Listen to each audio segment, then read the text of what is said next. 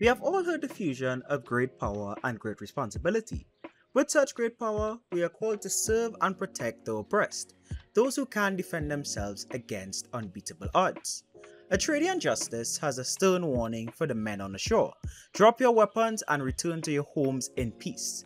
But even though he is holding a ship in his hands, the men on the shore still think he is bluffing, calling it nothing but illusions and begin to open fire on him, leading to a direct battle between Atreydean Justice and the men. But while he fought them, he noticed that all these men were unfortunately fully possessed by the astral wolves, leading to him having to kill some of them because their body is nothing more than a husk for the entity at this point.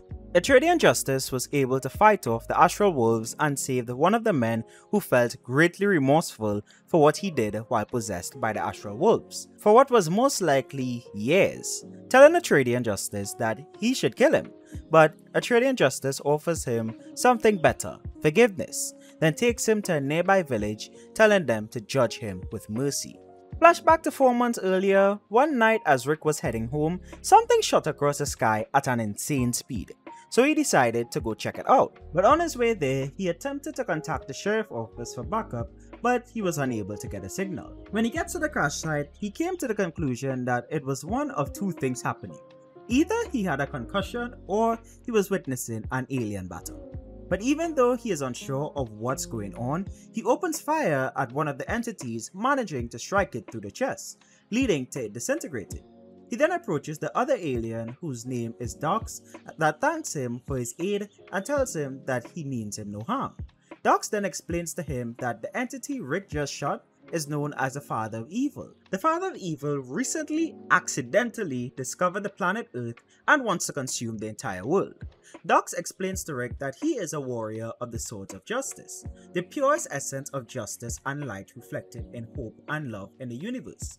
Such power must be shared with those who are worthy, and because Rick fearlessly helped Dox, he was worthy of becoming a warrior of the Swords of Justice, giving Rick the flame, telling him that he is now baptized and forgiven and now holds the greatest power that exists before fading away. Rick immediately gets the hang of his powers and rockets off into Earth's orbit, declaring that he will be the Sword's Atreydean Justice. Elsewhere, the Father of Evil is furious that of all creatures, the Sword of Justice has chosen humanity calling for Thrud the Astral Wolf to go down to Earth and just keep an eye on Rick.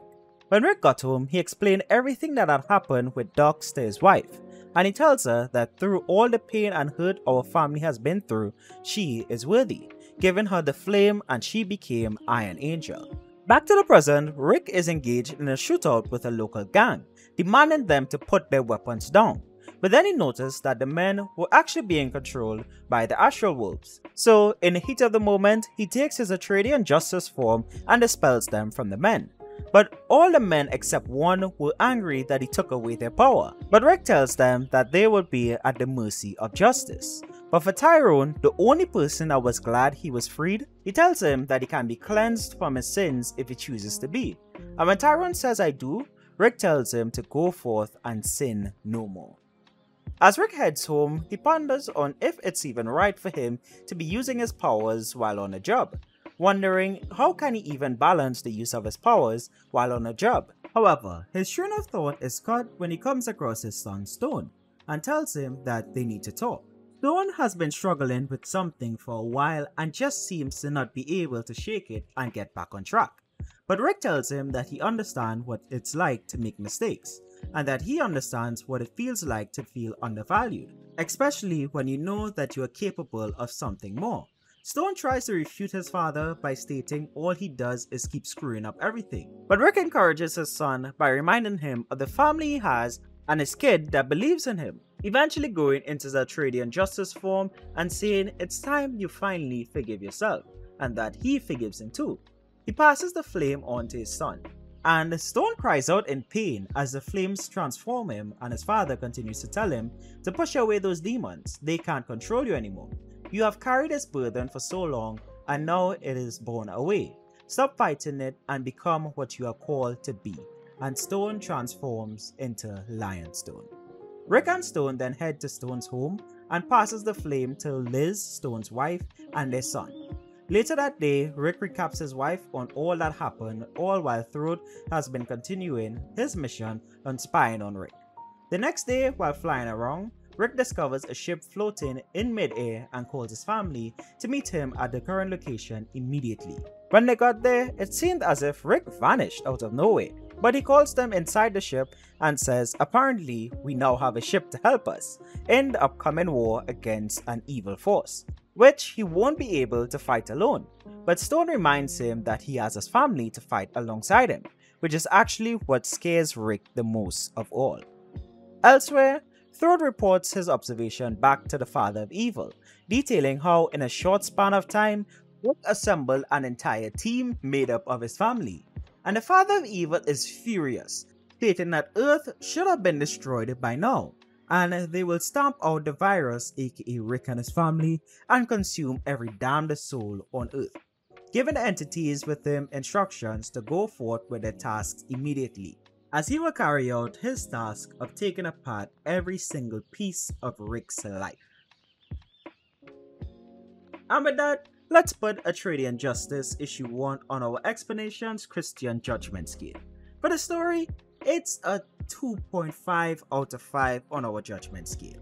I must start off by saying that I do like the concept of a Atreydean Justice and think it's a pretty cool character concept and series concept but the flow of this story, especially the plot of this one, felt like one of those stories that things just worked out because the story wanted things to work out. Especially the recruitment of Rick's entire family, like his son's entire family, in one night. Even the father of evil that took me a reread to see how it was that Rick was the one who killed him. Because on the first two panels, all the bullets literally bounced off of his chest, but in the next panel, he had like a lightning hole in his chest and was vaporizing. So at first I thought, oh, Rick bought Dux enough time to take him out from behind because that was the angle we got from the top panel. But then as I read it, I was like, no, but the Father of Evil forgot to bulletproof that one spot on his chest, or the last bullet had armor piercing rounds. Dux imbuing Rick with power of the Sword of Justice felt very much like a Hal Jordan's Green Lantern origin, and to me, that's not a bad thing at all, as it's one of the elements of the comic I liked a lot. Even Rick going on to immediately understanding his power is something I don't mind either, as it made for cool fight scenes. That's not what dropped the score of this comic. It's the instant recruitment of the family element of the comic that I think could have been fleshed out more. Rick's wife, I understand, as she chose to take his hand after hearing the story of how Rick got his powers that night. But Stone caught me off guard as it seemed like he had no choice in the matter because he himself was caught off guard. But the pacing of the story failed to make me care about Stone and his family and the fact that they got imbued with power like Rick. Because I want to know what was the mistake that Stone made or was making that was so bad that it was referenced throughout the entire comic that he even needed to be forgiven for, which is a different discussion for the theological section of the review, or why he had to push away the demons. I am kinda invested at this point, and it's one of the things in stories where the plot just works because the plot just needs to work out. That annoys me where a lot of emphasis is placed on something like whether it's a person's past or an item that we as the readers should care about.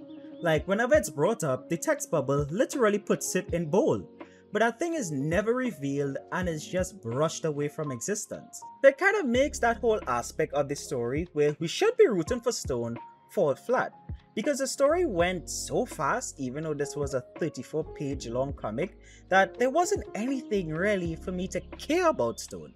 And that's how I feel towards the rest of the family. At least with Rick, his selflessness was fleshed out, and I can root for Rick, but the rest of the family, it feels unearned. I don't care about them because there was nothing for me to really see to really care about them. Like, yeah, even though when they are being granted their power, it talks about hardship and pain in a way that we should be rooting for them, but one text bubble is not enough to really build that connection for us to really care about them. The way I think the story was trying to make us care. Like Union Star, Stone, and Liz's son got bestowed his power in his sleep fam. There's no connection for me to care. I feel a better connection to the two guys who got delivered from the Astral Wolves, who are just through like just side characters, throwaway characters, Tyrone and the guy from the beginning of the book, that I feel about the entire supporting cast because the story didn't make me care about them. It just inserted them into the story, gave them superpowers. Boom, we're super family. And usually in most super family style books or media, for example, you could look at Shazam with that entire family. They made you care about the family. There was actually world building and some lore around the family that when they were bestowed with power, you're like, cool, the family is bestowed with power.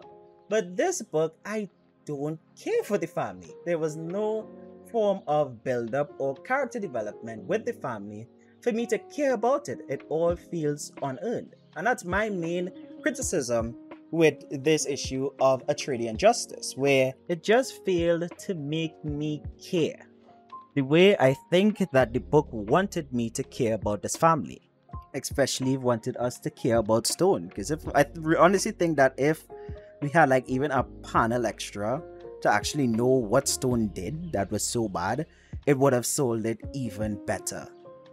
Because then we could have rallied behind them and be like, wow, this family really persevered through this. This guy was really trying his hardest and his best. But when you just make it ambiguous down to mistakes, mistakes, mistakes, kind of like how they say, like, oh, it's none of your business, fine. It's none of my business, then I don't care.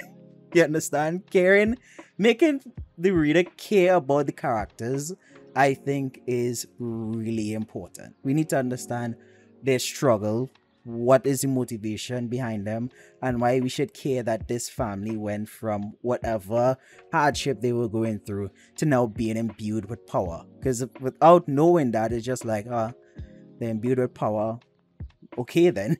It's not like the whole war with um the father of evil was fleshed out i would be like yeah we definitely need folks to be rallying against the father of evil like he got shot through the chest.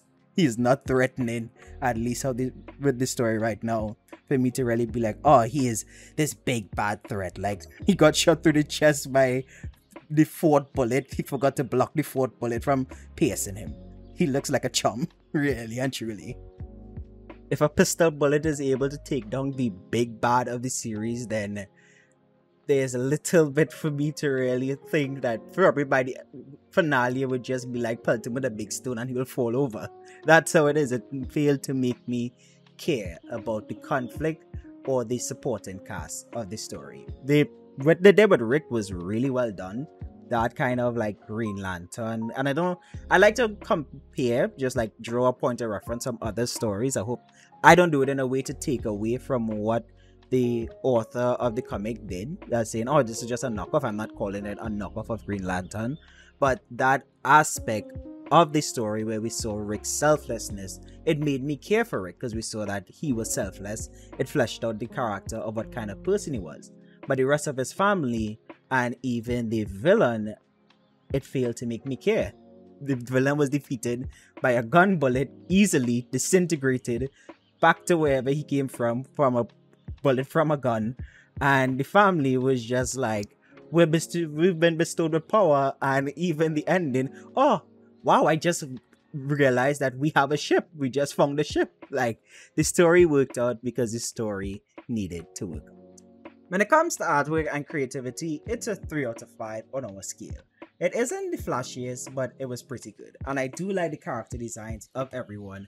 And that selfie shot with um Liz where she after she got her power, the family was taking a selfie shot, and she was the one taking a picture with a phone, but uses super speed to be in the shot and a thing run back around to still catch the thing.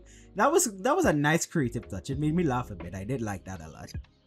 When it comes to theological basis, which refers to how well Christian principles are adapted in a piece of Christian fictional work, which is really and truly the bread and butter of our Christian fiction judgment scale. It's a 3 out of 5 because I think I understand what seems to be an allegorical approach to grace and salvation through the sword of justice. And the Ralph, the author of the comic, if I am reading too deep into it, do let me know. But there is room for some wonky things if not fleshed out correctly. Seeing Rick handing out forgiveness and seemingly burning people's sins away, and an alien telling a human that you have been baptized and forgiven.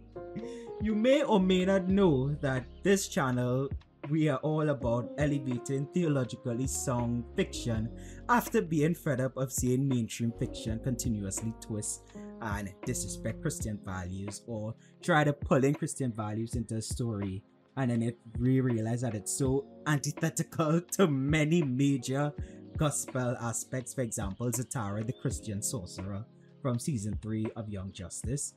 We have many old videos covering those topics, but whether it may be the form of the Thundercats getting right with Jesus and reenacting the books of Samuel, Kings, and Chronicles, or angels burning people to a crisp when they try to get to heaven without salvation. Those are themes of Christian comics on the channel that we are going to and have covered. I just care about accurate theological representation in my fiction not according to what uh, denomination thinks, but according to the word of God. And uh, that comes with obviously a lot of creative license. After all, my favorite series on the channel features John the Apostle not dying, living into the 21st century, and assembling a group of warriors to fight against the premature rise of the Antichrist. Or another book that Atreides Justice is seen in is Biblical Proportions, which my oversimplification of the book is about a resurrected Nephilim who is going around wreaking havoc throughout the multiverse. Yeah, there's a lot of creative license and liberty when it comes to theological aspects in fiction, but if it starts to drift a little too far into that category of like a bit too far, we'll sound the alarm like we did with Alpha Red issue 2. but that's it for now. This gets a 3 out of 5 on a theological basis. When it comes to my enjoyment and how likely I am to recommend it against all the other comics that we have covered, I like the concept of the story and the main character a lot, but it failed to make me care for the supporting cast thus far and the adventure to come, so it's a 2.5 out of 5. So overall, Atreides Justice issue 1 by Ralph Madrigal, who recently joined Starcross Comics, gets a 2.75 out of 5 from the Xplanations. Let me know what you think of the comics based on what was discussed in the comments below. Do you agree with me or do you have a different take than I do? The link to purchase the comic will be in the description. And I must disclose that Ralph did reach out to me to cover the comic. We are we have also been remonetized, so instead of going to the description, I think if you look on the top right hand corner of your screen, the info card should take you directly to the Starcross Comics website to purchase this issue of Atreides Justice. And if you would like for me to cover your comic or check it out, be sure to hit me a DM at the Xplanations on most social platforms or via our Discord server or through the form on our gospel infused fiction on our website. If you enjoyed the video, then why not consider leaving a like on it and subscribing for more reviews and coverage of comics made by professing believers. If you enjoyed the video to the point you want to check out another one on the channel, then be sure to click the card at the top right hand corner of your screen to check out our future Atreides Justice reviews or check out this video that YouTube thinks you will like next.